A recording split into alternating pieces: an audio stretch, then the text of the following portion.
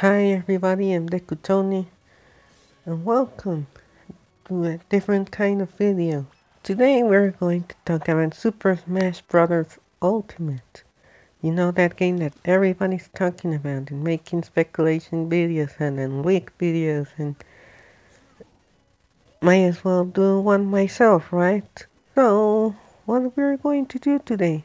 Um, we're going to speculate about a rather surprising character being playable in the game. And who am I talking about? Well, we're going to talk about the sandbag. yes, yes, really. We seriously, we're going to talk about sandbag being a potential newcomer for Super Smash Bros. Ultimate. So what are the best key points regarding Sandbag is include possible inclusion in Smash Brothers Ultimate?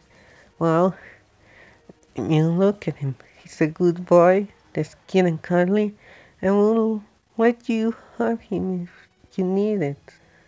Ever you ever had a bad day, he's there for you. You, you know? Also, he's a responsible family man that takes care of his family and has a wife and two kids. Okay, maybe not, I don't know about his private life. Also, he's in, been in every single Smash game since Melee, and Home Run Contest has been his full-time job since 17 years. That's, I feel pretty old. He's also an OG creation from Masahiro Sakurai himself. Donut Steel. But yeah, uh, to tell you the truth, I've been wanting to play as him for more than 10 years, ever since I first played Melee.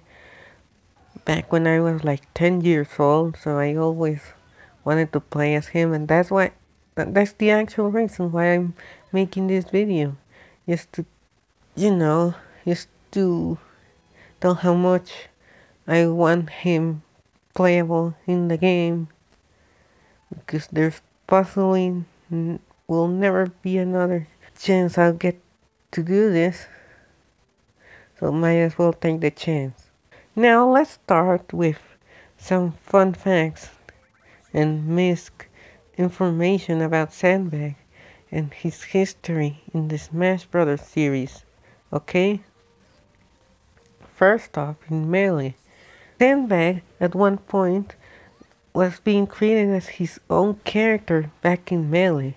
You can see this in the debug menu and on the data of the game. He's able to jump, walk, grab items, and airdrop items. Doing anything else crashes the game, which is, you know, pretty strange that Sandbag is able to do all those things, being just stand, standing still and really doing nothing in the game. But okay, there's this early screenshot that shows the Zelda symbol, the Triforce, instead of the Smash symbol right under his stock icon. You know, like how every character in every Smash game has like their logo associated with them like in the game the character select and on a battle you know right under the stock icon or something like that. His icon is for some reason the Triforce instead of the Smash logo. I don't know why this is. Okay maybe I do know. Probably because his character data was based off someone from the Zelda series like a cell now, maybe. It's really interesting to see. Now, another thing is that Ditto was going to be a Pokemon in Melee. However, he was cut, but in, is he still in the game? He's very unfinished, and supposedly he was meant to copy the opponent and attack the foe. And now, Ditto is now in Smash Ultimate and does nearly the exact same thing he was supposed to do back in Melee. That, that's pretty interesting. like some sort of trend where scrap or unfinished ideas from past Smash games have been introduced in this new game, such as this Sukapon Assist Trophy. If you want to know more about that, you can check out Source Gaming's video about the matter. And here's an interesting fact. Sandbag can play the home run contest with himself. Like, you can set a record with him for some reason. Yeah, that's that's a thing. And that's really it with Melee. Now let's go with Brawl and see what we can find about that game.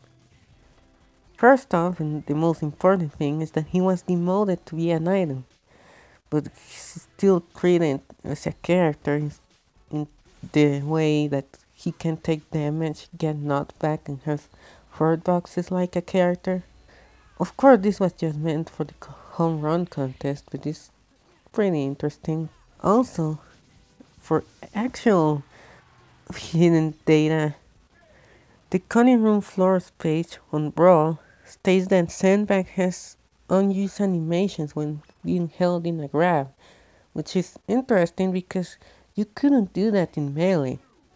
However, he probably was cut because he was demoted to an item, but also he has a missing animation when he's being held by Snake. So that's that's odd that they even made those animations in the first place. And that's really it for Brawl. Now let's move on to Smash 4 when there's some more strange stuff regarding the character, okay? He's still treated as an item in the game, but he made an appearance in Little Mac's reveal trailer for some reason. Probably because Sandbag is a punching bag and Little Mac punches things. Yeah, that, that makes sense. But also, he has an unused stock icon in the data. And the stock icon is pretty much the same render used for Brawl. Which is strange. So probably this is very early on in development or something. Because here's the thing about Sandbag, his design always changes. Like, he looks different in every single game he's in probably with the exception of Ultimate, but that's that's a given considering some of the returning characters from Smash 4 to Ultimate look almost identical, which leads me to the actual speculation part of the video. So where do I begin here? So okay, as far as I've seen, Sandbag does not appear in the E3 demo. For some reason, for some very strange reason, he doesn't show up in the demos. For all the footage I've seen of the demo, he's not present in any of the footage I've seen. The same thing as for the home run bat item, which is really interesting. So, a few months ago, like a couple of months ago, I made a thread on Reddit that pretty much asked the people that has anyone seen Sandbag in the demo? Like he made a thread about it and it seems that a lot of people haven't seen him either, or at least at that point, which we're going to get into later. Also in E3, Nintendo put on a Sandbag statue at their booth, the Golden Hammer item, and many character related weapons and accessories were displayed with him. Even though Sandbag isn't really a character, but you know, that's not really, that doesn't really mean anything for him, honestly. But then, on their Twitter, on Nintendo of America's Twitter, they show a couple of photos of Mr. Sakurai posing alongside some of the items displayed at the booth. One of those photos was Sakurai in a fighting pose about to punch the sandbag statue I mean, it looks funny. Uh, uh, but why will he punch Sandbag? What has he done to Sakurai to make him punch him? I, I am really concerned about him. Like seriously, give, give the guy a vacation, okay? So the fact that he took himself a screenshot next to Sandbag might mean nothing or might mean something. I don't know. We're talking about the community speculating of skulking because of freaking chairs and cushions in the background. So why can't I do the same thing? Right? Then, after E3, the Smash Wiki updated the Sandbag page to include confirmation, quote unquote, that Sandbags will return in Ultimate, despite never showing up in the demo. That's, that's, that's strange. Which leads me to the actual first point of speculation I want to make about the character. Now, why will he not be in the demo? I mean, he's one of the easiest items to put into Ultimate because he's so white. He just stands there taking punches. Why will he not show, not show up in the demo? Doesn't make too much sense to me. He you will think he will be one of the easiest things to port over from Smash Wii U. But, but why is he not present in the demo? Especially when a lot of the characters in Smash Ultimate look almost identical to how they look in Smash Wii U. You will think that someone like Sandbag, who's pretty much all gray and white, will be one of the easiest things to port over and will take just like one day or a couple of hours to put into Ultimate. But no, he's not there. It's very strange that he doesn't sh show up in the demo.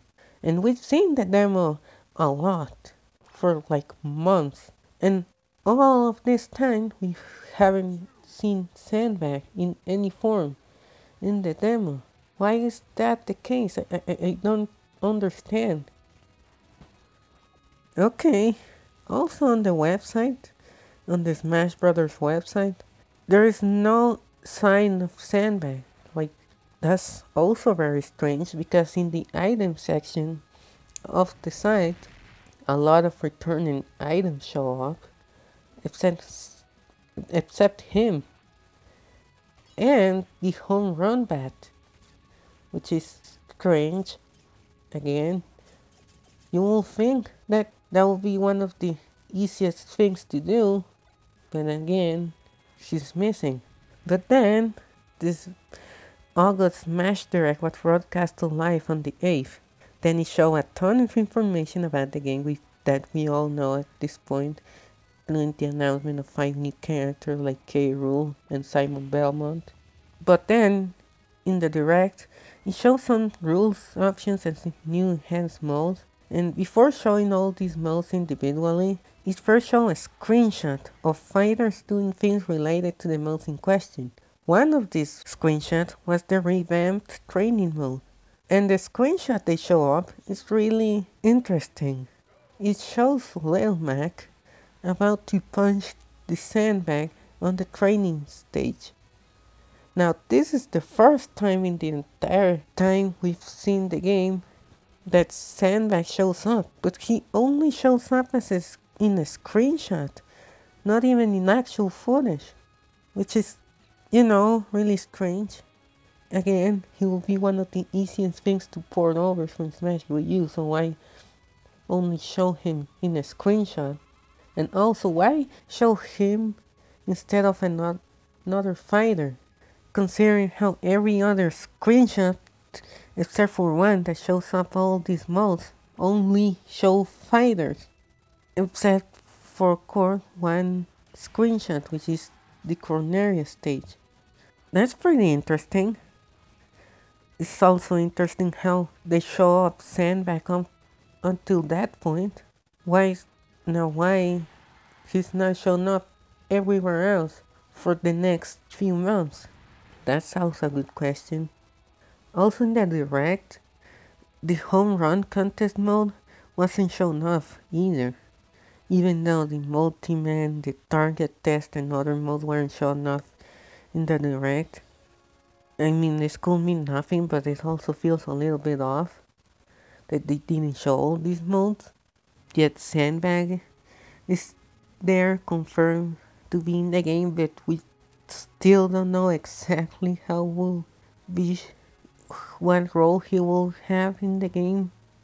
And of course, I know it's an easy thing to think to say that he's going to remain an item and he is, will always be an item, but it's rather strange that we haven't seen that much of him being this very simple cylinder character and we haven't seen much of him. That's kind of strange and a little bit suspicious. You know, one small thing is that it seems that they're taking inspiration from other fighting games they have a super meter, or in this instance, a final smash meter, as, as they're calling it. It curiously resembles a Smash fan game's final smash meter called Smash Brothers Crusade, which was a fan game released in 2015 and coincidentally the same amount of time that the final project plan for Ultimate was made in December of that same year. You know, some, some little detail that I noticed. And there's a small chance, and I mean very small, that some things from Ultimate were inspired by fan projects like Project M, for example, but I I don't think this is entirely true. I mean, this is stretching it a bit too far. Like, even for these various standards of pushing things far with someone like Sandbag to be a character. Alright, let's just assume that this is true, okay? If this is true, and if Sandbag is playable as the joke slash surprise character, or you know, for this game standard, because we got K. Rool and Ridley, you will assume that those two will be surprise characters, even though they pretty much showcase what will be the approach for selecting newcomers in this game, so they're not surprises for this game's standards. But for this game's standards, Sandbag will fit in really well as a joke slash surprise character, or something like that. And if this is true, and Ultimate has a lot of inspiration from fan, fan projects, Sandbag's inclusion may be inspired on Super Smash Bros. 2, which is the most polished and well respected Smash fan game out there, where Sandbag is a playable character. So, besides being an inspiration, the moveset is already set in place for him there because there's already a lot of things done with his moveset. Of course, in Ultimate's case, it will be a lot more polished. There will be some changes to make it akin more to typical Smash game. But you will think someone like Sandbag will be easy to make a moveset for, or just to program in general. Besides, he will be the ultimate joke character. You know, in Smash Ultimate. Yeah, okay. I mean, I will be, I will get really sad if he he gets deconfirmed as an item, because I've been wanting him for over ten years. Though, if he does get deconfirmed, there's this small chance. There's a very small chance that he could be still a DLC character a free DLC character in the game, like some sort of celebration gift after the game sold like a million copies or two, which we all know is going to happen like really early on. And he will be part of a free balance update or something like that. He will be free and not paid because technically we already have him in the game. And making pay DLC would be very, very, very questionable. You know, something interesting to think about. Then Nintendo showed off a lot of footage of K. Rool, and Dark Samus, and Isabelle has been revealed since September. But yes, still we have no Sandbag in sight. We still haven't seen him even after all these reveals and all this new footage we've gotten. So that's also pretty interesting. Now, before I end this video, I know a lot of you are thinking, lol, XD, sandbag of all characters.